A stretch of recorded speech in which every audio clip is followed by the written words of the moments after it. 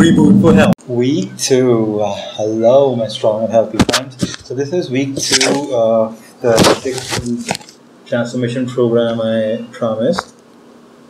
So in this week we're going to be adding few exercises. So this going this week's circuits is going to look like um, five push-ups, five squats, 20 high knees, uh, 15 seconds wall sit, or you can do lunges entirely depend like whatever you feel comfortable with. And then 15 seconds plank and then 15 seconds run spot okay so this is going to be uh, the entire circuit for this week and you're going to be doing at least uh, 8 to 10 uh, uh circuits you know 8 to 10 8 to 10 times every day for six days this week. That's from monday to saturday. And sunday you're going to be again is going to be your day off so uh, let's talk about nutrition this week. So uh, last week what we did was we had the journal, right? So we wrote everything what we ate, and and you know we wrote it down. So and we calculated our weight. So so Sunday morning again, check your weight, and we we have three uh, results that can come out, and one could be either you lost your weight,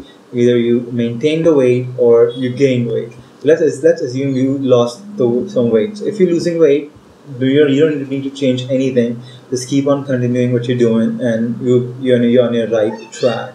Uh, if uh, you maintain the weight uh, then what you can do is uh, then you uh, you can cut your portions. You know like what I say is uh, whatever carbs you're eating that can be you know potatoes or rice pasta breads you know anything you're eating cut the portions one third. Like if you're eating like in, in, in breakfast you're eating three toasts uh, toast. So just eat two. You know, if you maintain your weight, just mm, we're still not calculating any calories. We're not complicating anything. We're just working on portions. So just from each meal, take small portion of your carbs out. That's it, right?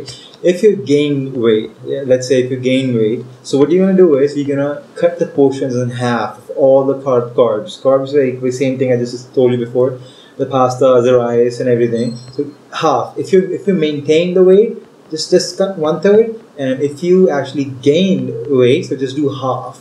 And again, measure yourself next week. So we'll figure it out how uh, your weight is going. So this week, uh, and depending on how you did it, you have three options. Either you're gonna continue the same diet or cut one third or cut one fourth. Uh, the exercises is I'm um, doing in the video. So please try it and let me know how you feel it. So if you like the video, so please make sure to like, uh, click the like button and subscribe to my channel. Thank you and reboot for health.